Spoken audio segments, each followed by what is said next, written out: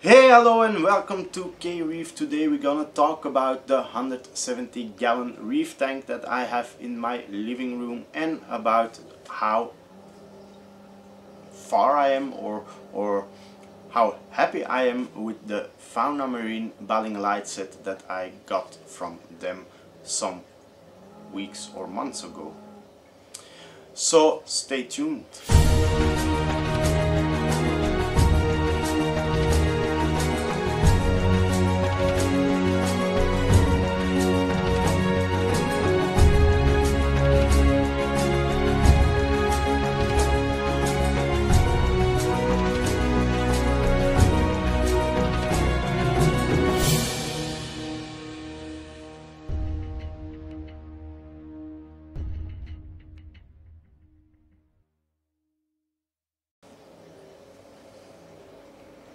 So for the new people that haven't seen this 117 70 gallon reef tank before, I can provide you a link from how it started. It's uh, yeah one and a half year ago.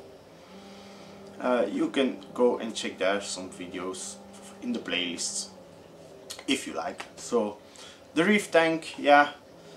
Um, what can I tell tell about it? Now when I started with the Fauna Marin Balling light system.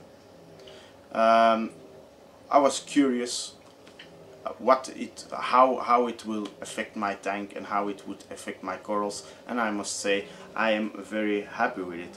So for the people that don't know I got a Balling light set to test from Fauna Marin and uh, I did an unboxing about it so here's a link and uh, yeah it's a, a, full set.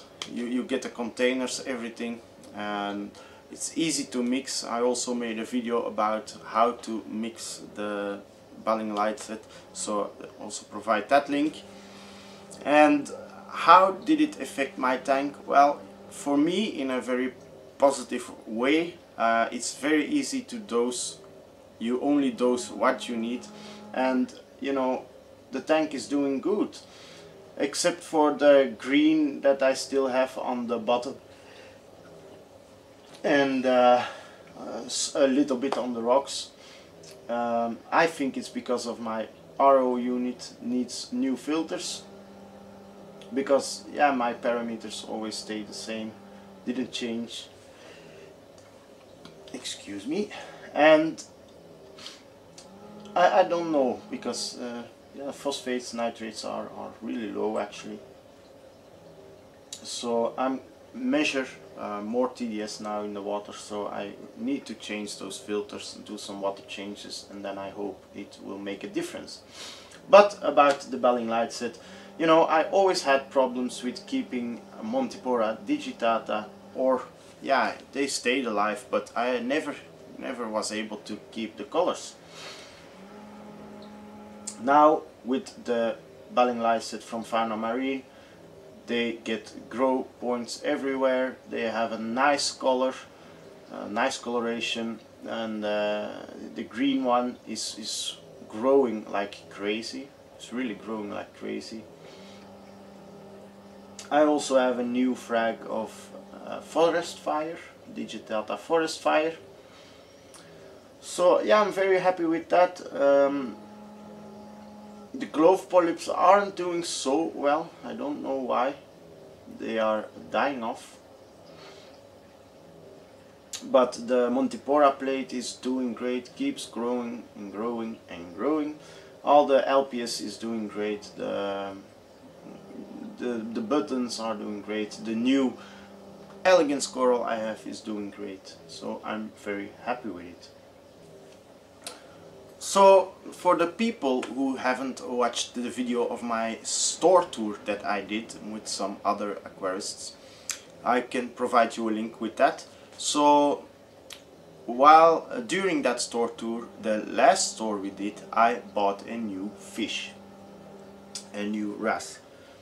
It's uh, the, how it's called, two-spotted candy hogfish yeah, that's the name. Two-spotted candy hogfish. Um, yeah, the fish is doing good. It's, it's, doing great. It eats well. but there is a but he only comes out every two or three days only in the evening to get some food and then we don't see him again for two days uh, but yeah I like the fish and um, probably when it's longer in the tank uh, he will yeah, change his behavior. I hope that he will come out uh, much more and uh, swim around so we can enjoy him more than one evening every two or three days. So yeah I keep um, an eye on the algae on my uh, sand bed and I hope it will make a difference when I changed my filters from my RO, RO unit. Um, for the rest I'm actually very happy with the tank. So yeah, thank you all for watching and I hope to see you soon again. Don't forget to subscribe and like and leave a comment if you want, if you have some questions. Bye bye!